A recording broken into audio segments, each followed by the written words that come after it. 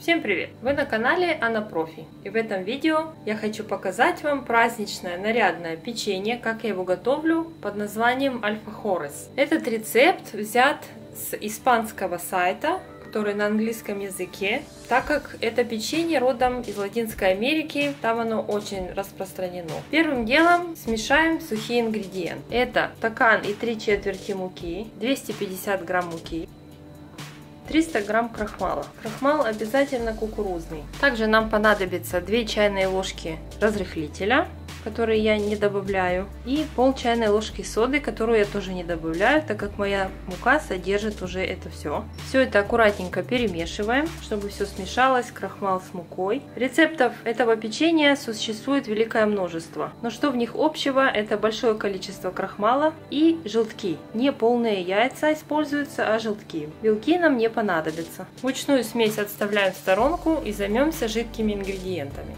Из жидких ингредиентов нам понадобится 250 грамм сливочного масла, очень мягкого, и 3 четверти стакана сахара. Я напишу в описании в граммах. Все это взбиваем до изменения цвета масла и увеличения массы в объеме.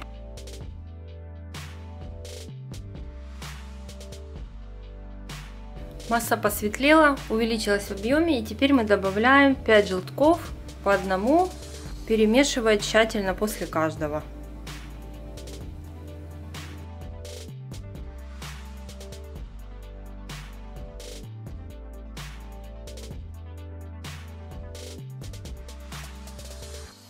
На этом этапе добавляем цедру лимона с одного лимона, а также одну чайную ложку ванильного экстракта я добавляю на глаз, так как если его будет немного больше или немного меньше, ничего страшного не произойдет. И все, последний раз еще перемешиваем. Все жидкие ингредиенты смешались, постепенно добавляем мучную смесь.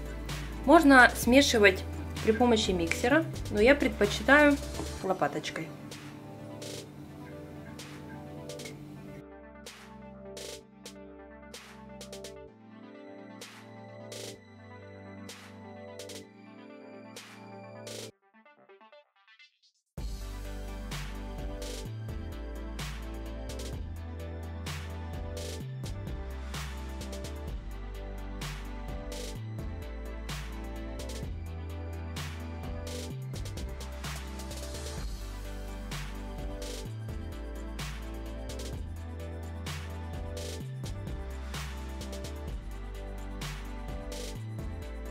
Тесто готово. Я переложила его в другую миску, потому что мне было тесновато. Оно совершенно не липнет к рукам. И теперь есть два варианта. Либо взять пищевую пленку, распластать тесто и положить в холодильник по крайней мере на час. Либо раскатать его сейчас. Раскатать тесто сейчас, сформовать печеньки и поставить их в морозилку минут на 15-20. В таком случае будет идеальный результат, при том, что времени вы затратите меньше. Потому как пока будет настаиваться печеньки в морозилке, вы сможете нагреть спокойно духовку. Раскатываем тесто на толщину примерно пол сантиметра или тоньше. Тесто я раскатала, теперь осталось его кружочками поделить на печеньки. Берем средний диаметр, слишком широкий не принято, и делим.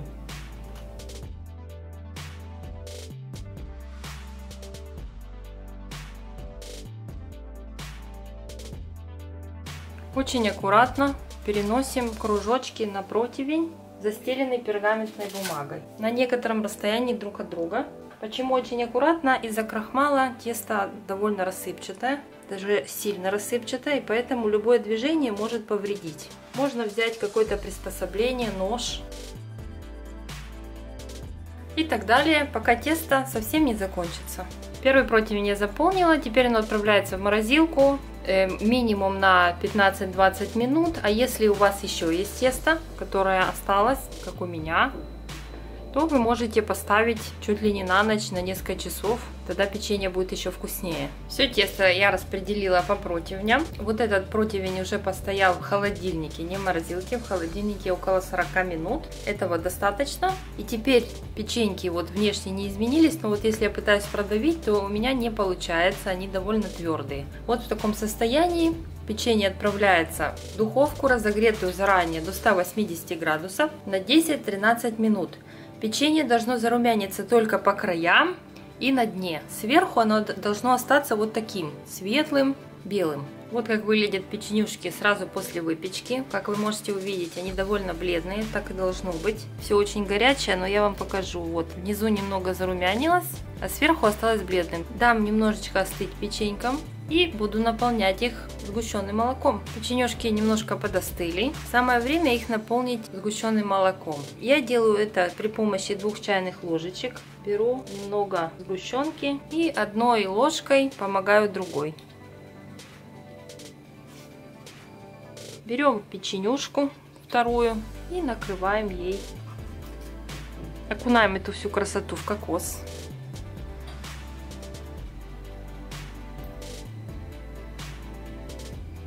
Все, наша супер печенюшка готова. За исключением того, что она должна постоять какое-то время в холодильнике или просто так и пропитаться. Эти печенья вкуснее, когда они пропитаются.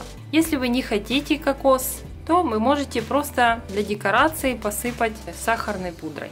Печенюшки должны постоять, но я не могу удержаться и очень хочу попробовать. Я не удержалась и попробовала. Вкус, конечно, потрясающий, но печенье, пока оно не пропитается, оно буквально рассыпается в буках из-за крахмала. Поэтому рекомендую вам намазать, таки подождать и потом пробовать. Но сочетание вкусов совершенно нереальное.